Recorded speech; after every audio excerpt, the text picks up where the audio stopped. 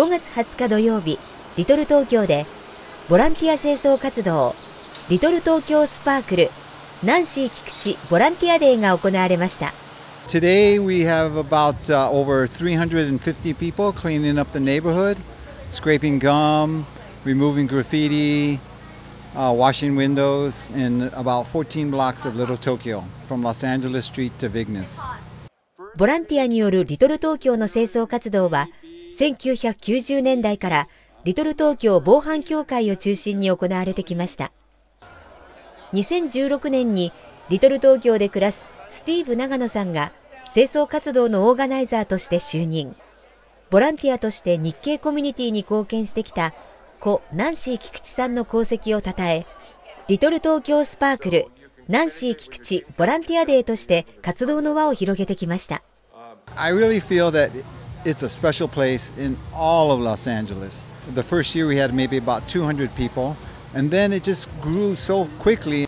According to the city, the people who provide us with the materials, this is by far the largest cleanup in the entire city.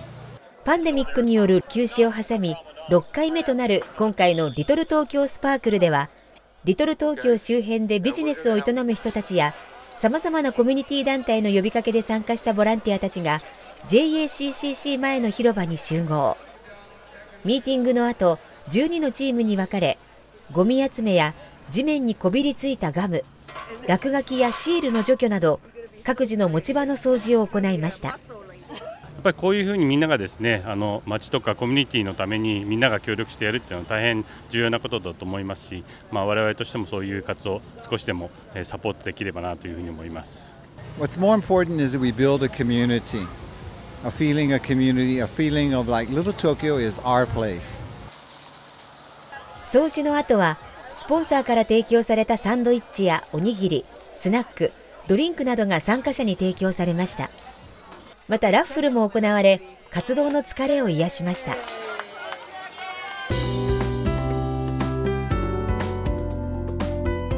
日系人シニア施設の建設を目指す非営利団体高齢者を守る会では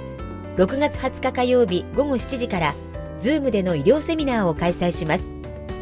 セミナーではメディケアとメディキャルそして高齢者施設への入居に関する最新情報を専門家がお話しします。参加は無料ですが登録が必要です。詳しくはウェブサイト高齢者 SCA.org でご確認ください。JBA 南カリフォルニア日系企業協会では7月29日土曜日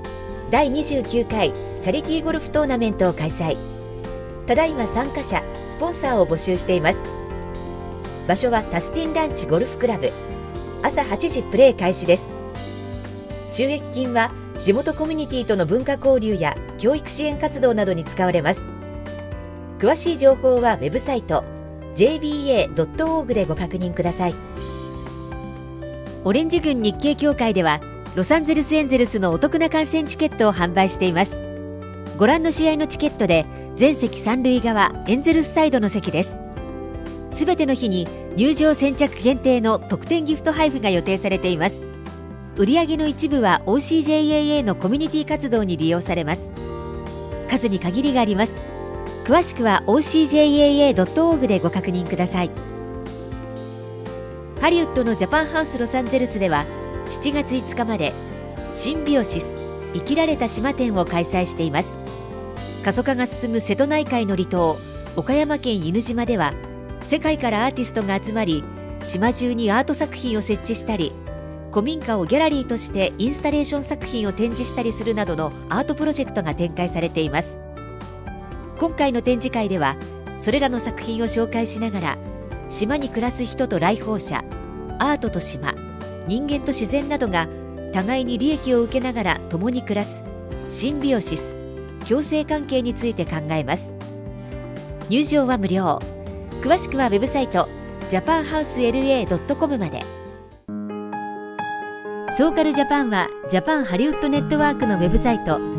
jhollywoodnet.com でもご覧いただけます。